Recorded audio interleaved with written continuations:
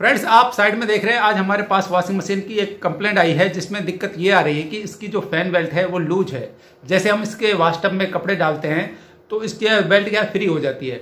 तो हमने काफ़ी ट्राई किया, हमें सेम बेल्ट नहीं मिली। अगर बेल्ट हम उससे छोटी लेते हैं तो काफ़ी छोटी आती है, जो उसमें चढ़ती नहीं है, या फिर उससे बड़ी मिलती है। सेम साइज़ की हमें नहीं मिली तो यहाँ पर हम एक ट्रिक अपनाएँगे। जिस तरीके से आप अपनी बेल्ट को टाइट कर सकते हैं, उसी बेल्ट को। तो करना कुछ भी नहीं है। छोटा सा वीडियो है पूरा देखें, ध्यान से देखें।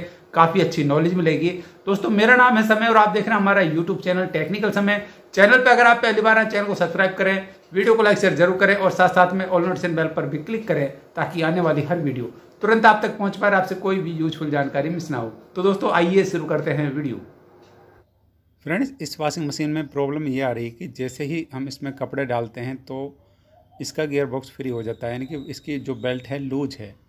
और हमने कैफ़ी ट्राई किया उस बेल्ट का, लेकिन हमें इससे छोटी और टाइट बेल्ट इसमें नहीं मिली। और अब हम क्या करेंगे इसमें तो इसका एक तरीका ये भी है कि बेल्ट क्या अलग अलग साइज़ में हो सकता है, आपको मिल जाए, लेकिन हमने ट्राई किया, हमें नहीं मिली तो हमने इसका एक दूसरा उपाय किया है।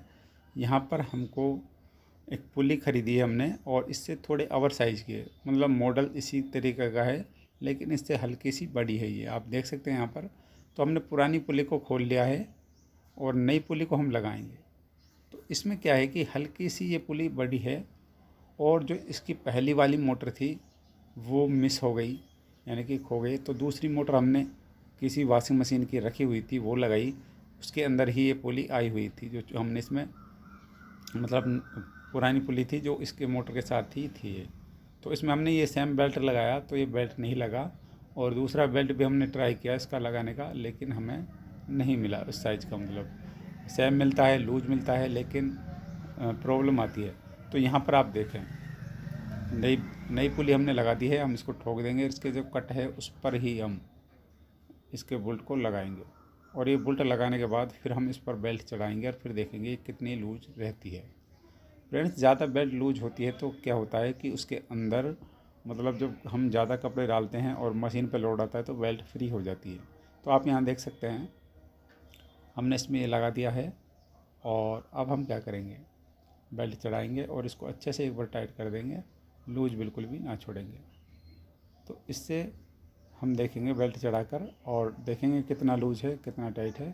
तो यहाँ पर आप देखें।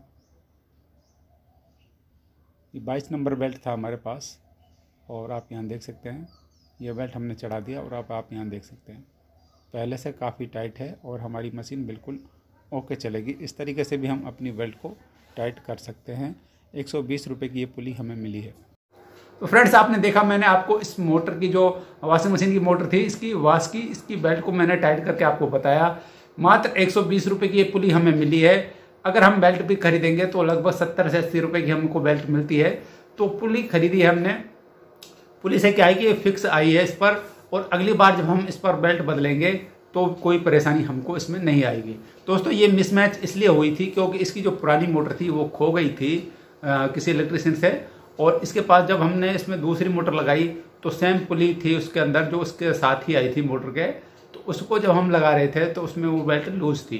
और वैसे सेम कंपनी की थी, लेकिन इसमें इसकी बेल्ट का दिक्कत आ रही थी। तो हमने इसमें दूसरी जो बेल्ट मतलब पुली थी, उसको लगाया और उसके बाद ये बिल्कुल ओके हो गई। तो इस तरीके से आप भी अपनी वाश की मोटर की बेल्ट की प्रॉब्लम है तो अगर लूज की प्रॉब्लम है, इस तरह की दिक्कत आ रही है, आपको बेल्ट नहीं मिल रही है तो उसकी पुली को चेंज करके आप उसको टाइट कर सकते हैं। तो दोस्तों, उम्मीद करूँगा आपको ये वीडियो पसंद आया होगा। वीडियो पसंद आया तो इसे लाइक, शेयर ज़रूर करें और इसी तरह की अच्छी अच्छी नॉलेज वाली वीडियो मैं आपके लिए लाता रहूँगा। और मिलेंगे आपसे नई वीडियो में नए टॉपिक के साथ। तब तक के लिए बाय बाय टेक केयर